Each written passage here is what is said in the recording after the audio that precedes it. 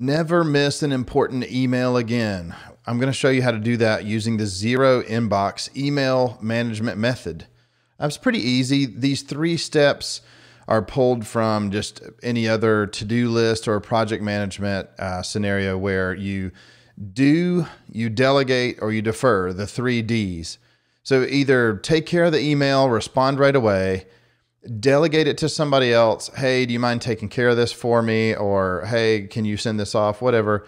Um, or defer. And deferring is, hey, I'm going to put it somewhere where I'm going to check on it later. Maybe I tag it. Different email programs allow you to um, re- be reminded of that email, or you can just set up a reminder yourself to go check your deferral mailbox, you know, every week or every month or however often you need to do that. I know for some of you, getting there is a big task. You probably have thousands of emails in the inbox. And by the way, if you're using Apple Mail or Outlook and you see that number, that's not how many emails you have, it's the number of unread emails you have. That's a lot of potential uh, missed emails. I know that we're dealing with a lot of spam and a lot of issues that um, pop up in your inbox that just are a waste of time. So I'm going to talk about a few methods to get rid of those as well. One, it's just unsubscribe to things. If you haven't been to Kohl's in months or years and you don't care about those uh, coupons anymore, unsubscribe. Unsubscribe for anything you don't need. Um, if you are a little more advanced, you can set up email filters to, you know, mark things as read that you kind of want to keep, but you don't want to see them all the time. You just mark it as read and put it in a folder. Uh, if you have questions about how to do that, reach out. We'll let you know uh, how to set that up. Um, I set up an an archiving shortcut button on my Mac, and there's also one on the iPad. And some mail programs have just a swipe where you can archive. That's how I manage my email inbox is archiving everything. Don't worry too much these days about space.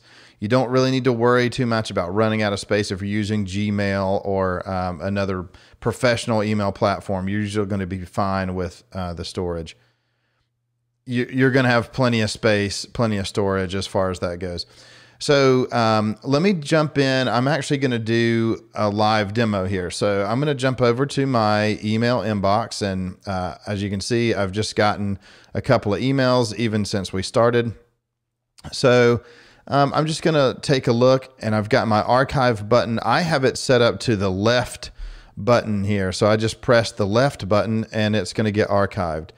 Um, tech data deal of the week. Uh, you know what? I don't really need to know the deal of the week. I'm going to click unsubscribe, and you can see it pops up my email and it tells me to unsubscribe from that mailing list. Okay. The email is still going to stay there in case you want to read it, or we can just go ahead and archive it.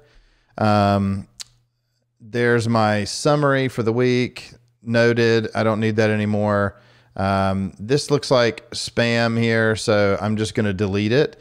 Now, of course, you have the delete button up here that's an actual trash can. Instead of archiving, you can delete it and it'll get dumped in 30 days. So I'm going to press that. Okay, great. Um, another email. I want to keep that, so I'm just going to archive it for now. These I've already read.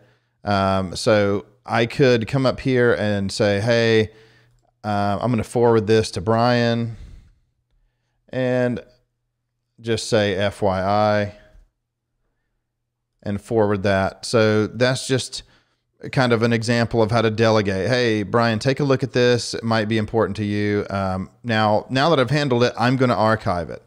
Now, um, this is my Asana list. I need to do a few things. Maybe I do that right away and take care of it, and then I archive it when I'm done. Um, this is a message saying, Great, we had a customer with a successful backup last night. Awesome. Um, I don't need to worry about that. So that's done. I'm going to press my archive button. And here we go with some more uh, spam. I'm going to click unsubscribe. And now I'm down to that uh, beautiful zero messages in my inbox. So if you do this method, every couple of hours throughout the day. You'll stay on top of your email. You'll never miss a thing. And then as you go through and deal with the unsubscribing, I threw a few in there as examples, but I don't get a ton of spam now that I'm constantly unsubscribing to emails that I just don't care about. So um, set up those filters. Like I said before, if you have a question, leave a comment below. We'll show you how to do it. Uh, I can make another video and show you how to do an actual email filter in Gmail or in, in Outlook or whatever email you have. Um, and then set up that archive button. I think the shortcut to the archive button is important for me. It's one of the first things I do when I set up a new Mac for myself is I get my email archive button set up. That way you can just press a button, you know, you note the email, get rid of it, respond to the email or whatever uh, you need to do. So remember, do respond to the email right away, delegate it to somebody else, or defer it.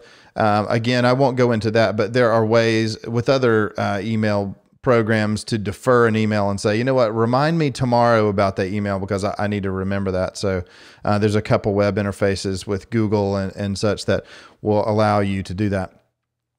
Um, let us know what you use for your email method. If you just leave all emails unread and don't care, uh, do you do zero inbox like I do? Uh, what works for you? Leave that in the comments below. Let us know the methods that you've tried and how that worked out for you. Uh, leave a comment, subscribe, and uh, share this video. Hopefully, it's, it's helpful to you, and uh, we'll talk to you soon.